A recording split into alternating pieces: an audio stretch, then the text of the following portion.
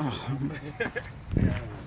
but not only are you growing you're surrounded by a bunch of guys who like nothing better to do than rescue you from a dog. Don't worry. None of that weight is in his brain. It's all heart. It is all heart. That's right.